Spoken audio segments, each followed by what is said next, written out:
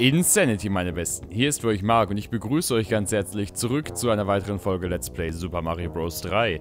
In der letzten Folge haben wir die Röhrenwelt endlich hinter uns gebracht. Ich bin fast durchgedreht bei diesen ganzen blöden Piranha-Pflanzen und wir haben Ludwig van Cooper besiegt, der jetzt erstmal leider keine wundervollen musikalischen Kompositionen mehr erschaffen wird. Ja, und äh, Bowser hat, äh, während wir rumgereist sind und alle möglichen Königreiche gerettet haben, die Prinzessin Toadstool entführt. Wer hätte es gedacht? Tja, und unsere Aufgabe ist es jetzt natürlich, sie zu befreien und wir konnten zum Glück direkt in Bowsers äh, Heimatwelt gelangen, in die Welt 8 und ganz ehrlich, dieser Ort ist die reine Hölle. Und wir sehen schon, wir haben es hier mit Panzern zu tun, mit äh, fliegenden Kanonenschiffen oder mit schwimmenden Kanonenschiffen, keine Ahnung. Ja, beginnen wir.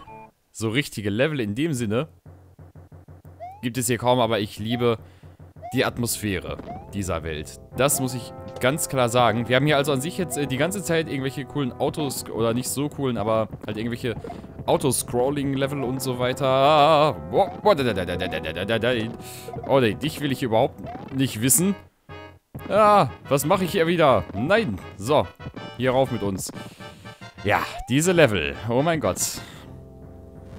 Die können so richtig gemein werden.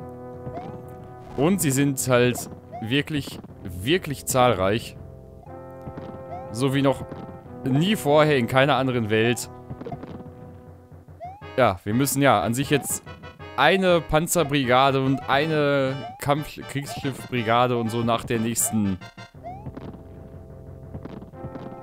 hinter uns bringen, um bis zu Bowser durchzukommen. Es gibt auch normale Level, also ne, Level 1, Level 2, Level 3 und so, aber ja, äh, die sind rar gesät in Bowsers Welt.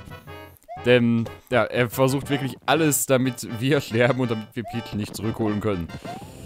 Oder damit wir zumindest besiegt sind oder was auch immer. Ah, und diese ganzen Bob-Oms, die ärgern mich wirklich, muss ich sagen. Vor diesen Bob-Oms habe ich wirklich, wirklich Respekt, denn Ihr seht, der Explosionsradius ist nicht allzu gering. Und man muss immer schauen, dass man, dass die sich irgendwie gegenseitig ausschalten oder so. Wow, das war jetzt echt knapp. Boah. Wenigstens bewegt sich alles relativ langsam vorwärts. Und, ah, wir scheinen aber... Das Ende erreicht zu haben. Oh mein Gott. Ein Glück, dass wir... Oh, da... Ah, Mist. Ja, klar. Da traut man sich einmal so ein bisschen weiter vor. Und schon wird man von der gigantischen Megakanone des Todes gefickt. So ist das doch immer. Oh, ich, und ich glaube, ja, wir müssen, glaube ich, gegen Bum Bum kämpfen, oder? Oh, nee, gegen einen... Einen Boomerang, Bruder. Wow! Aber dafür kriegen wir... Yo, wir kriegen immer ein Item dafür. Hatte ich ganz vergessen, dass das am Ende immer kommt. Ja gut, einen Stern brauchen wir jetzt nicht so zwingend, denn die Level dauern einfach lang und da können wir nicht viel dran ändern.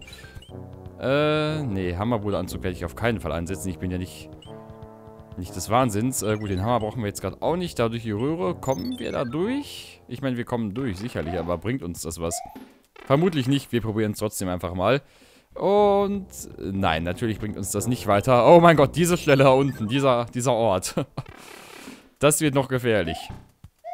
Das wird noch sehr gefährlich. Sehr, sehr, sehr gefährlich. Okay. Nächstes Level. Schiffe meine ich. Jo. Okay, waren keine fliegenden Kanonenschiffe, aber es waren Einfach nur Kanonenschiffe, Kriegsschiffe. Und äh, so, ganz flott hier durch jetzt.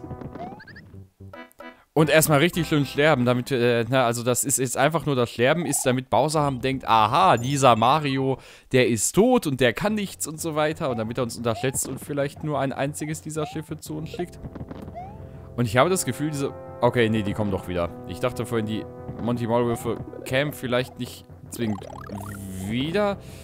So, drunter her hier. Wow, wow, wow. Oh mein Gott, okay. Hä? Stirb, hallo?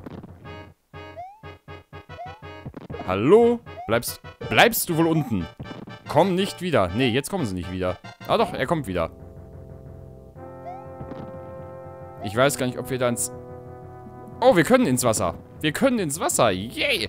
Und wir können auch in die Kanonen reinspringen und so weiter. Yay! Es wird immer besser hier. Wir haben so viele Möglichkeiten, um zu sterben. Ersaufen und zerquetscht werden und erschossen werden und von Schraubenschlüsseln kaputt gemacht werden. Ah, Gott, oh Gott, oh Gott. Lasst ihr mich bitte in Ruhe. Ich möchte doch einfach nur zu eurem finsteren Herrscher und da meine Prinzessin retten und ihm noch so einen kleinen Arschtritt verpassen. Ist das denn zu viel verlangt? Ich bin doch nur ein... Oh Gott. Himmelhilf. Man, irgendwann hat man so ein bisschen dieses Timing raus, wann die Kanonen feuern, nachdem sie erschienen sind. Also da gibt es ja durchaus so ein gewisses Timing, das man haben kann. Ja, und hier haben wir also wirklich, was ich an Autoscrolling-Leveln am meisten hasse. Wir hatten es eben schon bei der großen Kanone. Manchmal ist es besser, nach vorne zu gehen und manchmal ist es besser, möglichst weit hinten zu bleiben, damit man sieht, was auf einen zukommt. Und man kann es vorher einfach nie so wirklich wissen. Okay, was erwartet uns hier? Bum bum! Danke, ich dachte schon, es ist wieder so ein Boomerang-Bruder oder irgendwas anderes Gefährliches, aber solange du es nur bist, mein lieber kleiner Freund, ist ja alles gut. Oh. Uh, ja, es ist gefährlich. Es ist gefährlich, diese Welt. Jeder kleine Fehler kann einen fertig machen. Und man hat nicht viele Hilfestellungen. Nicht viele. So, ja. Dieses kleine Tor da oben würde ich natürlich sehr gerne öffnen. Und jetzt werdet ihr gleich herausfinden, warum ich wirklich glaube, dass dieser Ort die absolute Hölle ist. Oh. Also normalerweise wird man auf einem von diesen drei Feldern, auf die man tritt, von so einer Hand runtergezogen. Mindestens auf einem, manchmal sogar auf allen dreien. Okay, wir hatten scheinbar richtiges Glück gerade. Meinetwegen, I'll take it. Oh Gott, oh Gott, oh Gott, ihr seht schon, das hier ist Autoscrolling. Irgendwie natürlich nach meinem Geschmack, weil es wenigstens schnell vorbeigeht. Auf der anderen Seite nicht nach meinem Geschmack, äh, weil es schnell ist. Und dadurch gefährlich. Und wir springen volle Kanne natürlich in diesen Schlüssel rein. Schraubenschlüssel, oh mein Gott, ja. Und ja, ah, jetzt seht ihr, jetzt werden wir da reingesogen. Haha. Kriegen wir hier vielleicht wenigstens irgendwie so ein richtig schönes kleines Untergrundlevel-mäßiges Power-Up oder so. Komm schon, du nettes Untergrundlevelchen. Das kannst du doch. Du kannst uns doch hier wohl so ein Power-Up geben. Oder ja, gut, ein paar extra Leben wären natürlich auch nicht verkehrt in Form von Münzen. Aber komm schon, ein Power-Up. Ich möchte einen Pilz oder irgendwas, was mich leben lässt. Ja, scheint nicht so. Oh, doch. Uh, schön. Oh, ein Blatt. Oh, motherfucking yes. Besser hätte uns gar nicht treffen können, wenn wir jetzt in das... Ja.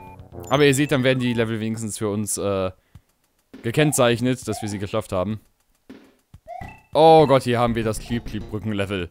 Es muss natürlich in jedem 2D Mario irgendwann vorkommen, oder? War ja mal wieder klar. Oh! Oh, wir werden getötet! Yay! Das wollte ich natürlich. Das war genau mein Plan. Nochmal, okay. Wir werden nochmal runtergezogen. So, okay. Gut. Gut. Nein, lasst mich in Ruhe, ihr Fische. Hallo? Könnt ihr bitte aufhören, mir entgegenzuspringen? Ihr habt gruselige Augen und habt euren Mund so komisch offen. Knabbert bitte nicht an meinem Ohrläppchen. Es wäre mir sehr unangenehm. Ah, ich merke schon, ich sollte meine Medizin bald wieder nehmen. Ah. Ja, und ich sollte nicht so schnell rennen. Oh, cool, diesmal hat es geklappt. Naja, Ihr seht also ein bisschen zufällig, die Chance runtergezogen zu werden ist meiner Erfahrung nach höher, als die nicht runtergezogen zu werden.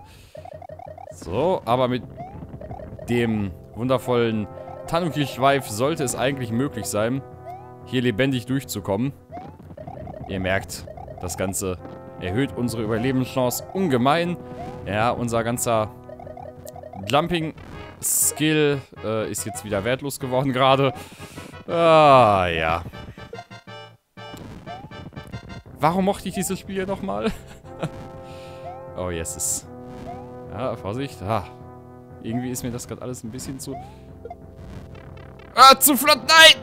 Oh, nee. Oh, Mann, scheiße. Ah, warum bin ich da nicht einfach gesprungen? Da hatte ich wieder zu viel Angst gehabt, um weiterzuspringen. Äh. Aber diese dieses Schloss da, das möchte ich schon ganz gerne noch öffnen, weil dann müsste ich diese ganzen anderen Level nicht wieder machen. Hä? Also jetzt ganz im Ernst.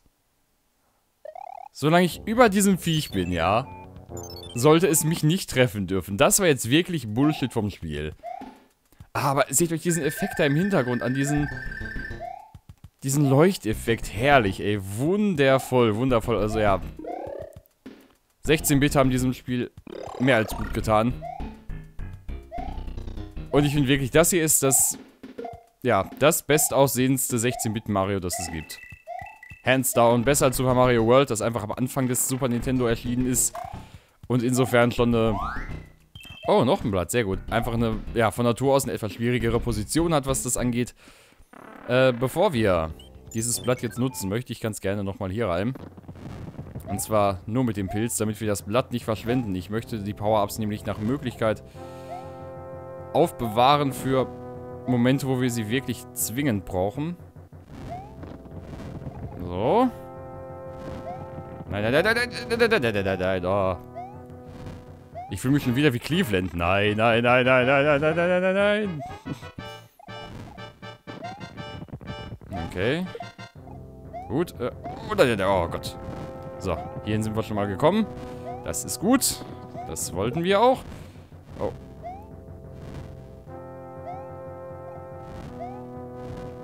Oh mein Gott. War das knapp. So, zu dir komme ich auch noch rauf. Und hier komme ich rüber. Nein, nein, nein, nein, nein, nein. Oh Gott. Oh Gott, oh Gott, oh Gott. Ah, Mist. Jetzt hat es natürlich wieder nicht geklappt. Das war immer wieder klar. Gut, nehmen wir uns also das Blatt hervor und versuchen wir jetzt noch einmal dieses blöde Luftcliff-Level hier zu lösen. Ah, ich mag dieses Luftcliff-Level nicht. Ich würde ja sogar fast schon sagen, wir packen jetzt mal den Hammerbruder aus, aber, also den Hammerbruder-Anzug, aber leider wird der uns ja auch nicht so viel bringen, denn naja, der Hammerbruder-Anzug, der, naja, der kann halt Hämmer werfen, aber das hilft uns ja nicht gerade Oh Gott, war das knapp. Das hilft uns ja nicht gerade gegen, äh, ja, gegen weitere Sprünge, die wir machen müssen. Da ist der Anzug leider nicht so gut für geeignet. Ich meine, der könnte sicherlich den ein oder anderen Maulwurf vorher besiegen, bevor der seinen Schraubenschlüssel werfen kann. Aber, oh nein. Ah, oh, Mist. Okay. Kommen wir nochmal hier drauf. Oh, nein, nein, nein, nein, nein, nein, nein, nein. Ah, Mann. Das ist doch einfach nicht mehr fair hier. Manchmal. Also ganz ehrlich. Äh, ja. Geht das? Nein, leider nicht. Schade. Da wollte man mal cheaten und dann geht's natürlich wieder nicht. Super. Dankeschön, Spiel. Aber wer weiß, vielleicht hilft es mir ja, dass ich der kleine Mario bin. Nein, natürlich nicht. Tja, was soll ich da noch groß zu sagen? Probieren wir mal... Ah, hier runtergezogen zu werden, genau. Denn wenn wir jetzt noch so ein... Oh mein Gott, Feuerbrüder. Ich glaube, ich wurde hier noch nie runtergezogen. Ich wusste gar nicht, dass es... Dass es hier Feuerbrüder gibt. Hallo? Genau, spring da hoch. Bruder des Feuers, Dankeschön. So, nochmal ein Pilz. Genau. Okay, das wollte ich. So.